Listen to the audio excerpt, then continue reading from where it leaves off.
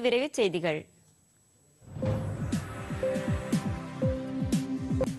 தமிழகத்தில் இதுவரை புதிதாக பதிமூன்று லட்சத்து ஐம்பதாயிரம் குடும்ப அட்டைகள் வழங்கப்பட்டுள்ளதாக உணவுத்துறை அமைச்சர் சக்கரபாணி தெரிவித்துள்ளார்.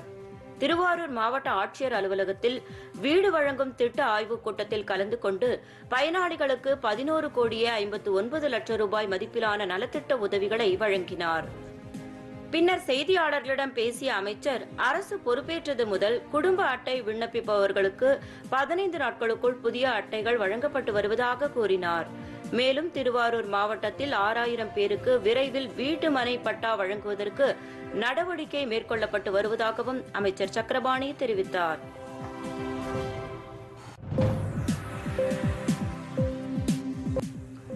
சென்னை தலைமைச் செயலகத்தில் காவல் ஆணையர்கள் காவல் கண்காணிப்பாளர்கள் மற்றும் பல்வேறு துறை சார்ந்த அலுவலர்களுடன் சட்டம் ஒழுங்கு நிலவரம் குறித்து தலைமைச் செயலாளர் வே. இறையன்பு ஆலோசனை நடத்தினார்.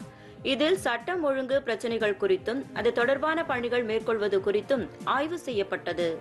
இக்கூட்டத்தில் உள்துறை கூடுதல் தலைமைச் செயலாளர் பனீந்திர ரெட்டி காவல்துறை தலைமை இயக்குநர் சைலேந்திர பாபு ஆதி திராவிடர் மற்றும் பழங்குடியினர் நலத்துறை அரசு கூடுதல் தலைமைச் செயலாளர் ஜவஹர் சென்னை பெருநகர காவல் ஆணையர் சங்கர் திவால் மற்றும் காவல்துறை உயர் அதிகாரிகள் கலந்து கொண்டனர்.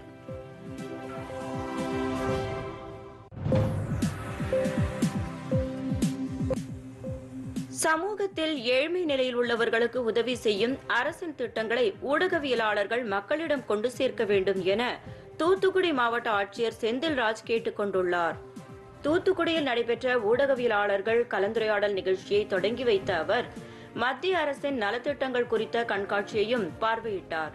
இந்நிகழ்ச்சியில் மத்திய பத்திரிகை தகவல் அலுவலகத்தின் தென் மண்டல கூடுதல் தலைமை இயக்குநர் அண்ணாதுரை கலந்து கொண்டு பேசுகையில் மத்திய மாநில அரசு இணைந்து செயல்படுத்தும் திட்டங்களை செய்தியாளர்களிடம் தெரியப்படுத்த இந்த நிகழ்ச்சி நடத்தப்படுவதாக தெரிவித்தார்.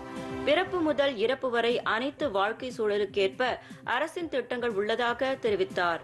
குழந்தைகள் பெண்கள் முதியவர்கள் விவசாயிகள் என மத்திய அரசிடம் சுமார் நூற்றி ஐம்பத்தி ஏழு திட்டங்கள் உள்ளதாக அவர் கூறினார். குறிப்பாக தூத்துக்குடி துறைமுகத்தில் பல்வேறு மேம்பாட்டு பணிகள் மேற்கொள்வதன் மூலம் நாட்டின் ஒட்டுமொத்த பொருளாதார வளர்ச்சிக்கு மிகவும் பயனுள்ளதாக அமையும் என அவர் நம்பிக்கை தெரிவித்தார்.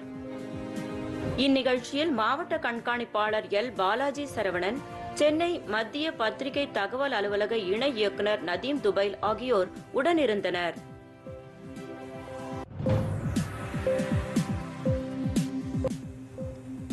ஈரோடு ரயில் நிலையம் மற்றும் பேருந்து நிலையம் மணிக்கூண்டு ஆகிய இடங்களில் வெடிகுண்டு வைக்கப்பட்டிருப்பதாக தொலைபேசி மூலம் தகவல் கிடைத்ததை அடுத்து அங்கு காவல்துறையினர் தீவிர கண்காணிப்பு பணியில் ஈடுபட்டனர்.